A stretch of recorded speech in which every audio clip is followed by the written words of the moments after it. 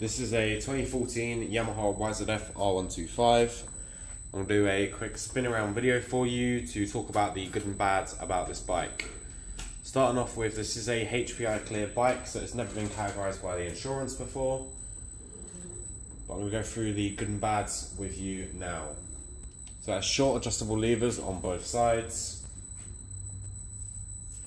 Chain and sprocket is in good condition, could use a bit of lubrication and a clean. Rear tyre is not brand new, but it's in very good condition. It's got a lot of tread left on it. It's almost brand new.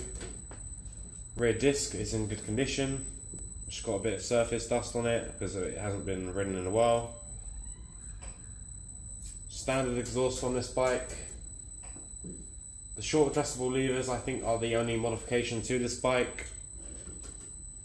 It's got a different it's got a different coloured front face. Front tyre is not brand new, but it's in good condition. It's got a lot of tread left on it. And front disc is in good condition.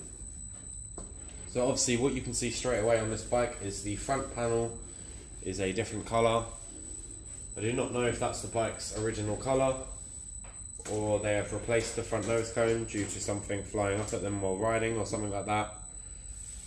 But I believe these some of the panels have been changed they are very well fitted though, they're not loose or anything.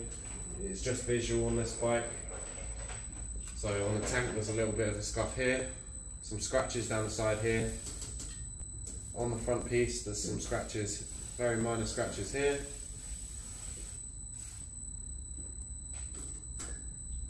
All in all, it's a good looking bike from far. You get some a bit close and you see some scratches on it, but they are not major at all few wear and tear marks on here and a few scratches down the side here. Other than that, this is a nice bike. It's been looked after. Engine sounds absolutely mint.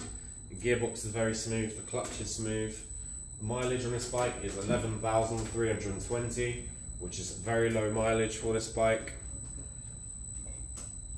On the rear pillion seat, it's got a few cuts in it and it is open. It's not major though.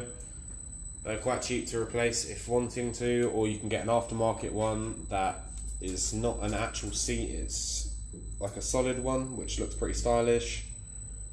Or if you want to leave it how it is, it is perfectly fine how it is. But all in all, it's a good bike. It's got a few visual damages on it, but they're not major at all. There's no major cracks or anything like that. But that's going to be it for this video for this 2014 Yamaha YZF R125. Thank you.